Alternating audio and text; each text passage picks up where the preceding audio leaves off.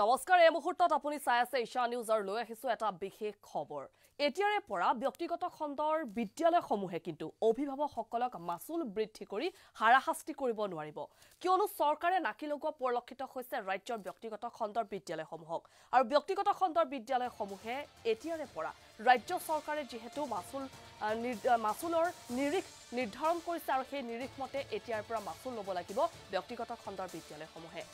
এই মুহূৰ্তত আমি জনাই আছো নিজ ইচ্ছাত মাচুল বৃদ্ধি কৰিব নোৱাৰিব ৰাজ্যৰ ব্যক্তিগত খণ্ডৰ বিদ্যালয়সমূহে। আৰু ব্যক্তিগত খণ্ডৰ বিদ্যালয়ৰ মাচুল ইতিমধ্যে নিৰ্ধাৰণ কৰিছে ৰাজ্য চৰকাৰে। আৰু ৰাজ্যৰ শিক্ষা বিভাগে নিৰ্দেশনা জাৰি ইতিমধ্যে কৰিছে। আমি জনাই আছো সেই খবৰ। বাৰ্ষিক মাচুলত সন্নিৱিষ্ট হ'ব সকলো খৰচ। এতিয়াৰে পৰা চৰকাৰে নিৰ্ধাৰণ কৰি দিয়া নিৰিখৰ মতে মাচুল ল'ব পাৰিব ব্যক্তিগত খণ্ডৰ বিদ্যালয়সমূহে।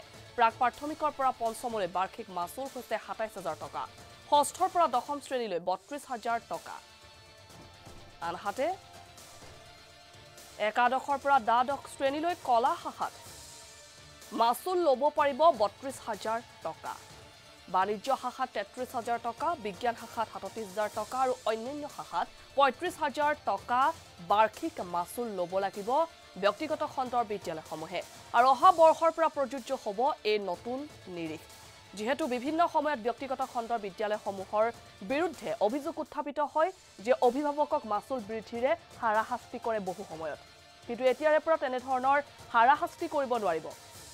ব্যক্তিগত খণ্ডৰ বিদ্যালয়সমূহে এতিয়াৰে পৰা যিহেতু চৰকাৰে এক নিৰ্দিষ্ট নিৰিখ নিৰ্ধাৰণ কৰিছে আৰু সেই নিৰিখ মতেহে ৰাজ্যৰ ব্যক্তিগত খণ্ডৰ বিদ্যালয়সমূহে ল'ব পাৰিব ছাত্ৰ ছাত্ৰীৰ পৰা অভিভাৱকৰ পৰা।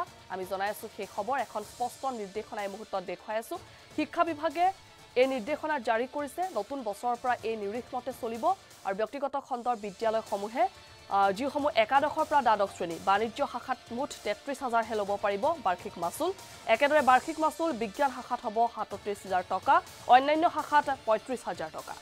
আৰু নতুন বছৰৰ পৰা এই নিয়ম প্ৰযোজ্য হ'ব প্ৰাক প্ৰাথমিকৰ পৰা পঞ্চমলৈ সাতাইছ হাজাৰ টকা। আনহাতে ষষ্ঠ শ্ৰেণীৰ পৰা দশম শ্ৰেণীলৈ বাৰ্ষিক মাচুল হ'ব বত্ৰিছ হাজাৰ টকা একাদশৰ পৰা দ্বাদশ শ্ৰেণীলৈ কলা শাখাত বত্ৰিছ হাজাৰ টকা হ'ব। আৰু এই যি নিৰ্দিষ্ট নিৰিখ নিৰ্ধাৰণ কৰা হৈছে এই নিৰিখ মতেহে ব্যক্তিগত খণ্ডৰ বিদ্যালয়সমূহ চলিব। তাতকৈ মাচুল বঢ়াব নোৱাৰিব ব্যক্তিগত খণ্ডৰ বিদ্যালয়সমূহে। এই নিৰ্দিষ্ট নিৰিখ মতে চলিব আৰু এই নিৰ্দিষ্ট নিৰিখে এগৰাকী ছাত্ৰ বা ছাত্ৰীৰ পৰা শিক্ষাৰ্থীৰ পৰা কৰ্তন কৰিব পাৰিব বিদ্যালয় কৰ্তৃপক্ষই। আৰু নতুন বছৰৰ পৰা এই নিয়ম প্ৰযোজ্য হ'ব। আৰু গতিকে এতিয়াৰে পৰা নাকি লগোৱা পৰিলক্ষিত হৈছে ব্যক্তিগত ব্যক্তিগত খণ্ডৰ বিদ্যালয়সমূহক ৰাজ্য চৰকাৰে। আৰু নিজ ইচ্ছামতে মাচুল বৃদ্ধি কৰিব নোৱাৰিব ব্যক্তিগত খণ্ডৰ বিদ্যালয়সমূহে যি নিৰ্দিষ্ট নিৰিখ নিৰ্ধাৰণ কৰি দিছে অসম চৰকাৰে সেইমতেই চলিব লাগিব। আৰু বিদ্যালয় কৰ্তৃপক্ষই সেইমতে শিক্ষাৰ্থীৰ পৰা বাৰ্ষিক মাচুল কৰ্তন কৰিব পাৰিব।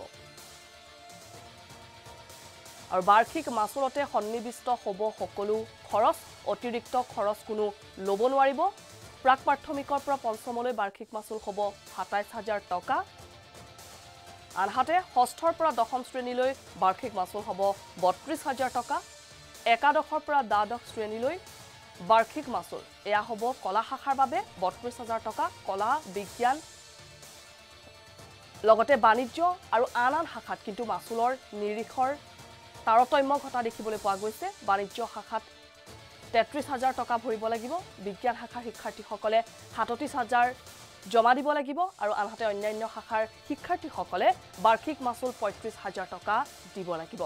আৰু দুহেজাৰ একৈছ বৰ্ষৰ পৰা এই নিয়ম প্ৰযোজ্য হ'ব আৰু অসম চৰকাৰৰ এই সিদ্ধান্ত মৰ্মে চলিব লাগিব এতিয়া ৰাজ্যৰ ব্যক্তিগত খণ্ডৰ বিদ্যালয়সমূহ।